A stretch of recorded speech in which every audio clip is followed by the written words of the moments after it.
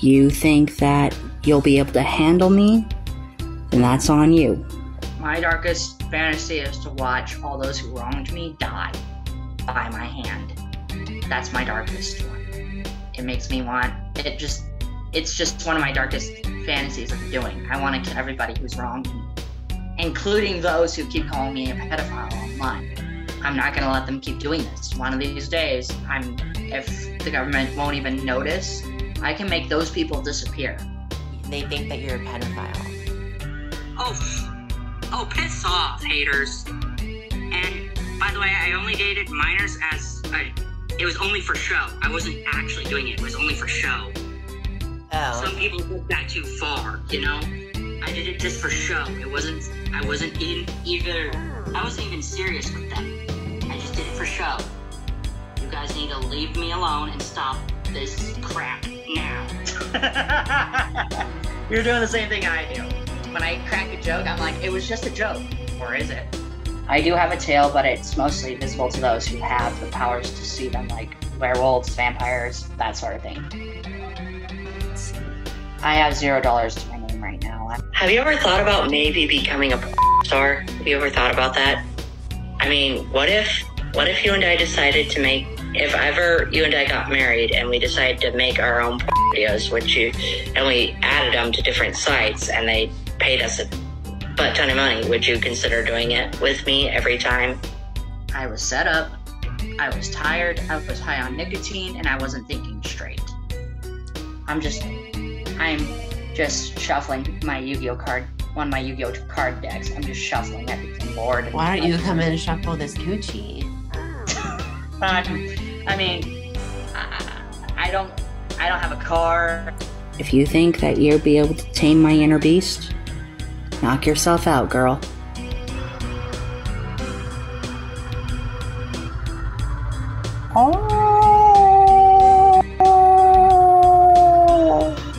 I'm, I'm willing to get married just as long as it's not an open, like, like an open area where all my enemies can have a free invitation to come and you know try to kill me. I love you, and I know you want me. This is Corbin Pennell, or better known to the internet as Jupiter the Hybrid. And you may be asking, well, what makes him a hybrid? And that's because he's a hybrid between a werewolf and a vampire. So you take those two things, you mix it with being a pedophile, and bam, you got Jupiter the Hybrid. You might want to throw a little bit of pony diddling in there too, because he has a bunch of kids with the pony you see him holding on screen. There's so much going on here with Jupiter, and today I'm going to give you all the rundown on him. Now, let me tell you something here. I've covered a lot of wackos on the internet. We've talked about a lot of the, the scum from the doldrums of the internet, and Jupiter belongs right there, shoulder and shoulder with Cyrax. Well, maybe not shoulder and shoulder. Cyrax is very small. But after you see what we're going to be talking about here today, I'm sure you guys will be in complete agreement that this dude is just one of the worst. One of the worst people you'll ever come across on the face of this here internet. And with that all being said, let me tell you why. So with Jupiter here, I'm not going to get too much into his early life because I'm not even sure if there's that much out there to begin with. What I do know is that he has about 10 brothers and sisters and that he's from one of the most rural parts of Idaho. And now that's going to become very important a little later on in the video because Jupiter realizes that he lives in a very secluded place and he thinks that he can use this to his advantage to possibly hide some uh, hide some internet trolls that might be bullying him if if need be. And then you might be thinking, well, why is this poor innocent vampire werewolf hybrid getting bullied? And well, there's a lot of reasons. There's there's a whole whole lot of reasons, and it all boils down to one thing. TikTok. Because Jupiter here, he knew he was meant to be a star. So he got on TikTok, he started uh he started sharing his opinions, sharing videos for the world to see, and it wouldn't be long until his true colors started to come to light. Now, the first thing that I saw about Jupiter were all these creepy Snapchat videos he was sending to a bunch of different girls. And I mean, creepy doesn't even do it justice. You're, you probably saw a little bit of it in the intro, but you're going to see this and just go, oh my god, imagine getting this. Like, imagine having someone send you the type of stuff he's sending these women. Okay, Maya, three reasons we should date. One, if you like what you see, then take it. Two, if you think that you'll be able to handle me, then that's on you. Three, you're cute as hell, and I'd love to have you on my arm. And here's a fourth reason. If you think that you'll be able to tame my inner beast, knock yourself out, girl. Thanks for watching. Maya, these are my reasons for you to date me. Hey, Coco, the reason why I want to marry you is because you're brave, smart, caring, kind. Well, soft yet tough, and very, very brave, and also very outgoing. I want to see more of that and more sides of that like you. Nyla, check this out.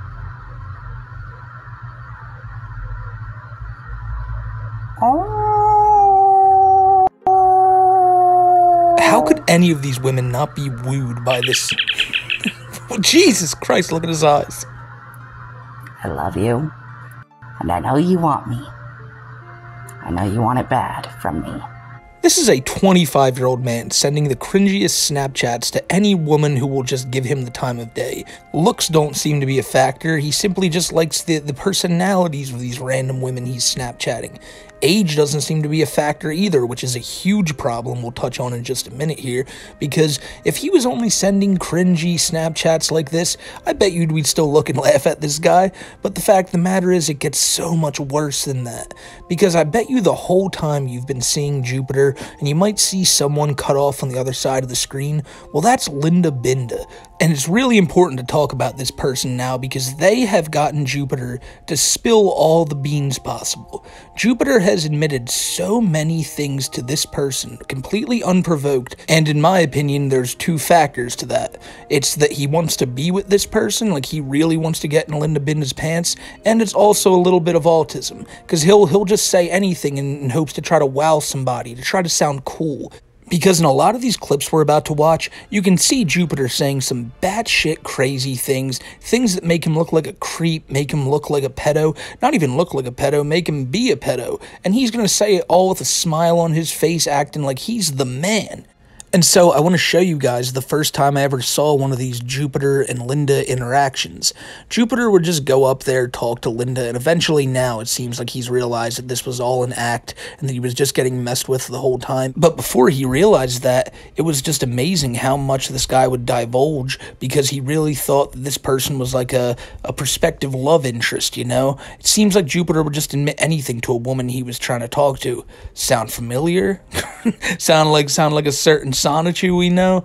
Um, speaking of that, Mrs. Smokey did a video on the comparisons between Jupiter and Chris. I'm going to have that link down in the description below for you guys to go watch that. Pretty damn good video. And also, you know, just because we're going to be watching a lot of these clips, I'll have Linda Binda's channel down there too, so you guys can go watch all of these these these hours of conversations between Linda and Jupiter. Because right now, I'm just going to show you the craziest parts. And when I say crazy, ladies and gentlemen, I really mean it because this this is going to have you losing your mind.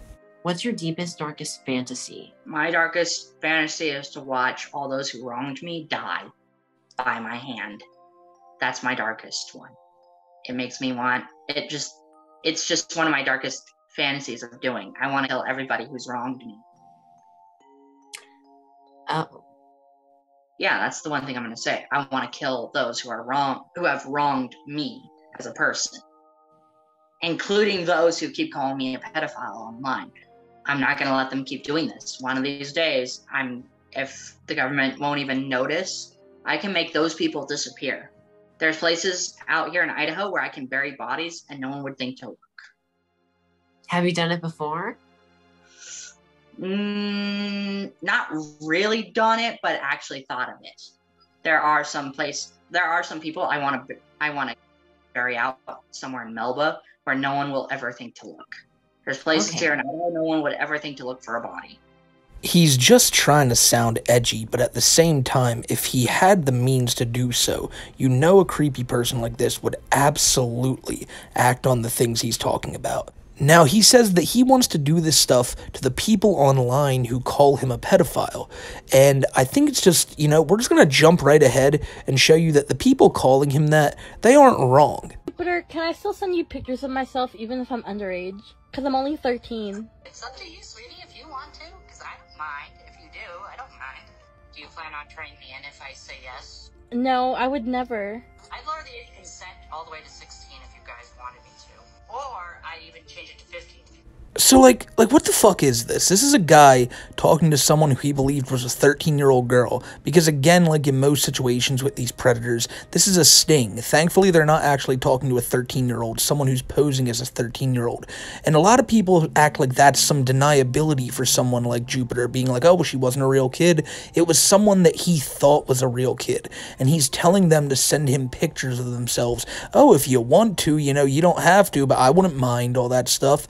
Then he's telling them that he'll lower the age of consent to 16. Then he goes on and drops it even further down to 15. Like the dude, the writing's on the wall for this dude, but he doesn't want to. He doesn't want to admit to that. He wants to say all this stuff. He wants to act in this way, and then point the finger at the people calling him out for it, and talk about how he wants to bury them in like his little town wherever he could get away with it or all that. No, Dude is a straight up, he's a problem. This guy is an absolute problem. People like this in society who want to do all this sick stuff and then threaten to hurt people who call them out on it, it's like you're the problem. But obviously, for Jupiter here, all that matters is that he's like a vampire werewolf who's allowed to do whatever he wants, and he can basically just put other people in their place, and their place apparently is in the ground if you call him out on all the weird shit he does. And so you may have heard it in the intro, but Linda Binda's about to ask Jupiter why he did all these things. And of course, most of it is the stereotypical, you know, predator being caught response I was set up, this, that, and the third.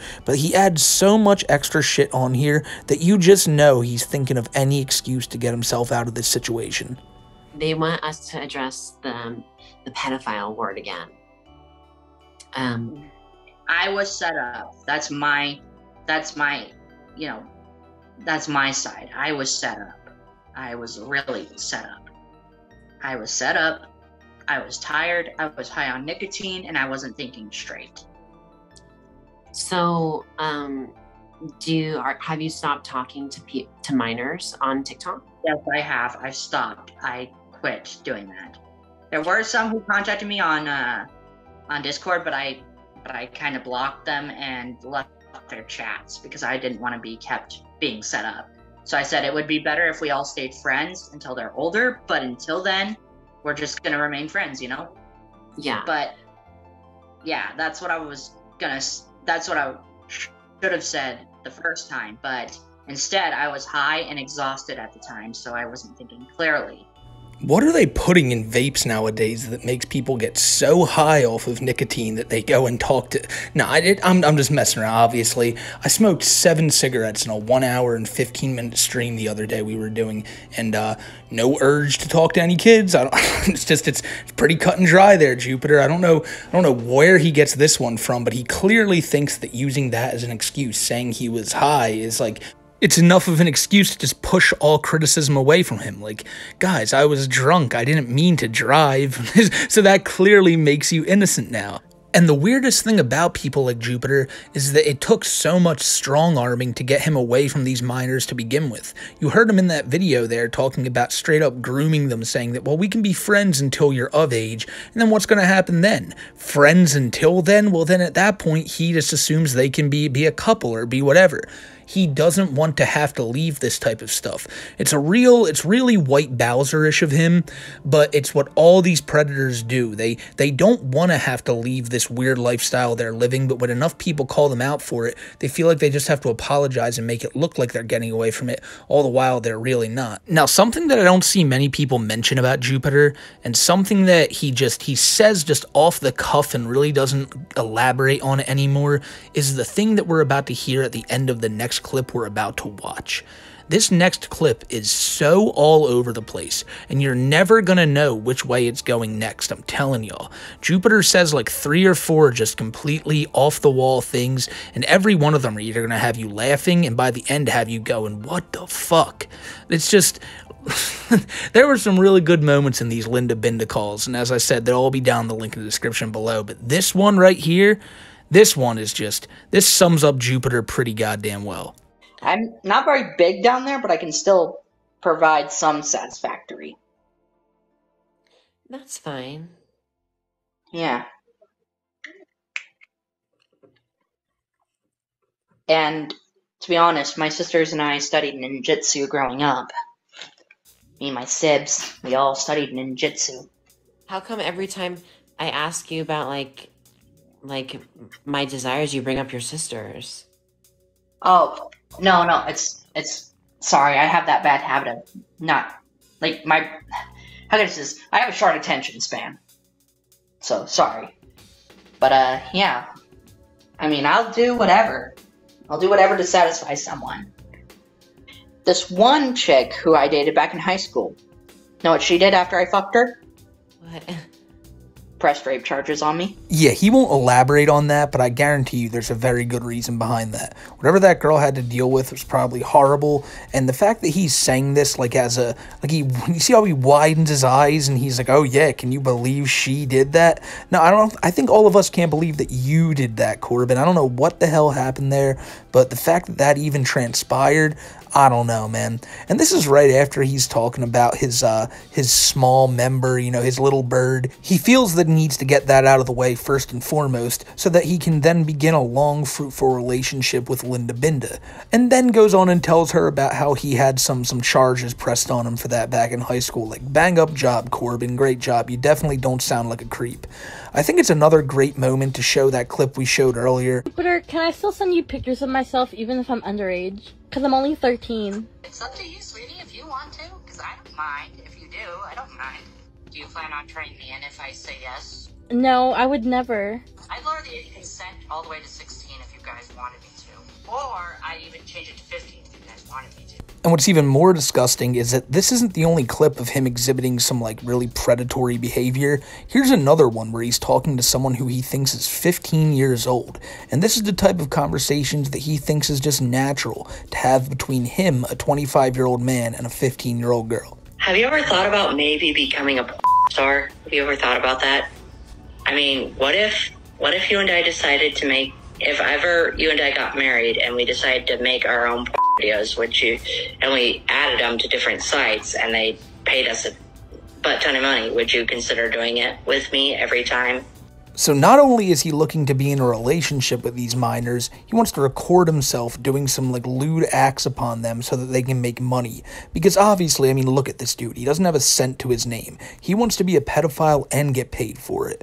Uh, he's like, is there anything more to say? Like, he's not all there. And again, you want to hear another, you want to hear another time of him trying to explain away his pedophilia?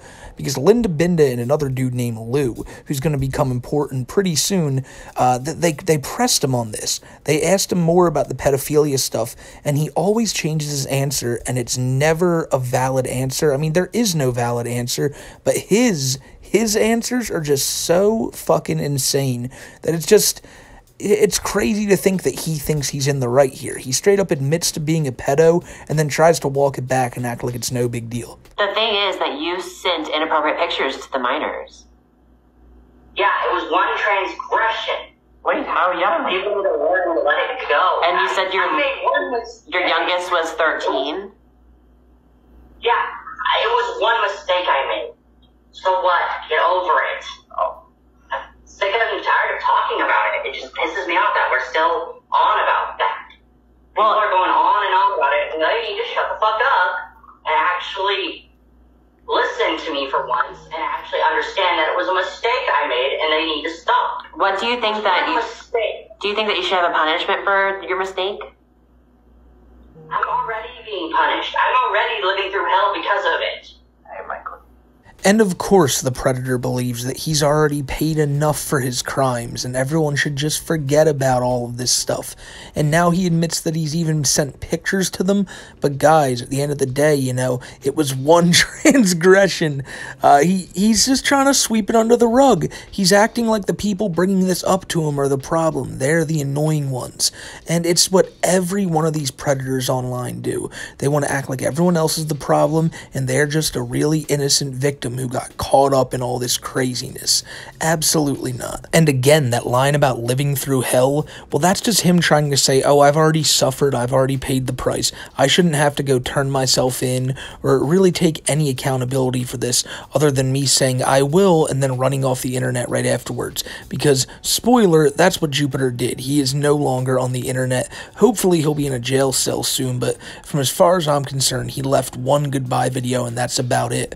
But before we look at that goodbye video, which I know a lot of you probably want to see because with all this stuff of this guy admitting to talking to all these minors, sending them pictures, threatening to off anybody who calls him on it, I'm pretty sure you all can't wait to see this dude leave. But there's one other thing we haven't mentioned much of, and that's his relationship with his My Little Pony doll. So we're going to get into that now, and I'm going to show you some of the crazy shit he talks about with this. The dude interviewing him with this is the same guy who was just on the couch next to Linda Binda when, when, when he gave that admission of sending the picture to the minors. But his channel will be in the link in the description below too. But this, this clip is just just as insane as you would expect with the guy who said all the stuff he's already said in this video i'm pretty sure him talking about like making making children with this my little pony doll is going to sound pretty tame compared to all the weird shit he's already said Sir hoof, my claw, cross my thumb. Alright. Yes. Blood of my blood, be undone. That's how I dispel the spell. Now that she has my blood running through her veins, now that she's. Oh. she. She shocked. She shocked me with some of her powers. She shocked me. That's why I turned and went up. What the? Oh, testy. She She's- wants. She gets all testy whenever I do the dispel ritual after bringing her back from the dispel. She gets all testy with me and tries to f***ing shock or try to do some damage to let me know that she's displeased. Sorry, Shiratora. I'm very, very sorry. And she understands. She's just mad at me for having to do that. Hey, you watch your mouth, Missy. You have kids with Charatora? Yeah, her and I, uh, her and I have quite a few. Not gonna lie, but uh, yeah, that's why I said, honey, watch your mouth.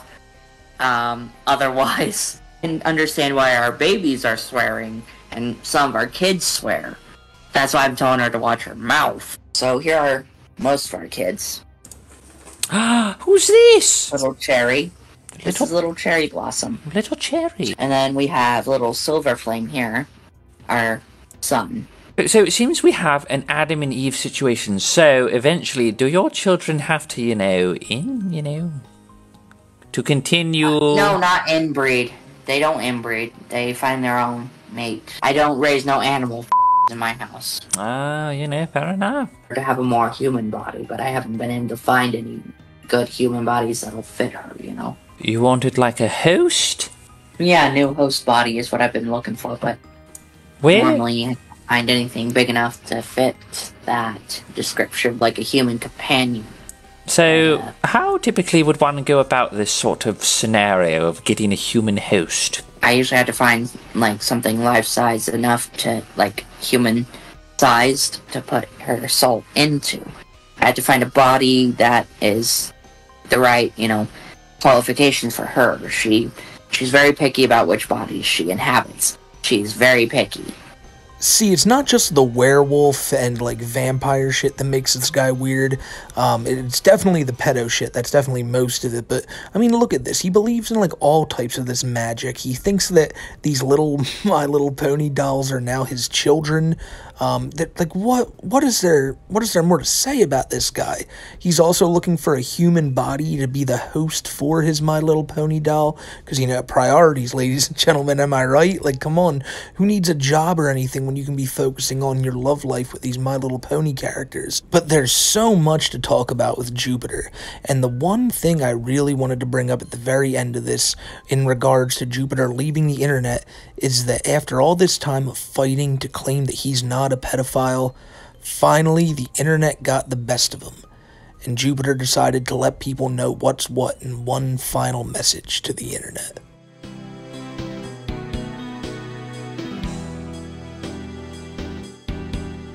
It is with a humble heart that I, Jupiter, aka Corbin Pennell, was a pedophile and am hated for those crimes. I ask the world's forgiveness, as well as those who I've wronged, Bree, and all those other named souls that I have wronged. Pedophilia was never really what was supposed to be, and I apologize for those actions that I have taken. I am Corbin and Jupiter, and I give you my solemn word that it will never happen again. Bree and other countless souls who I have hurt and wronged, I beg your forgiveness for the pedophilia I have done.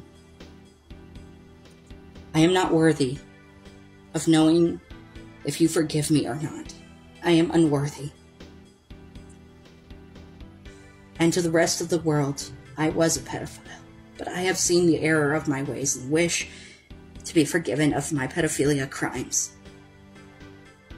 And to all those others that I have hurt and wronged, I ask you to forgive me. I was never meant to hurt anyone. I bow my head in shame, and I am ashamed to call myself a Jupiter.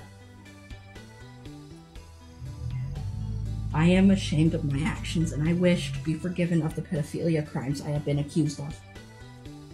And I promise you that it will never, ever happen again. I swear on the name of Jupiter and Corbin Pennell. I swear upon that name that I will make this right. I promise I will make this right. I am unworthy of calling myself Jupiter. This video is my apology to the world for my crimes. And I ask again to be forgiven of those said crimes pedophilia, of being a horrible person and a monster. I ask to be forgiven. Well, do y'all forgive him? Do y'all forgive the self admitted pedo for being a pedo? I don't. I don't assume many of y'all do either.